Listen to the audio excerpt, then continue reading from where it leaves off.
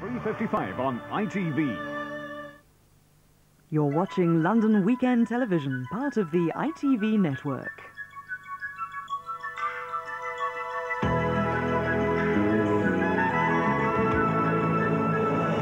Don't forget, at midday it's the ITV chart show. But first, the concluding part of the life and times of Grizzly Adams.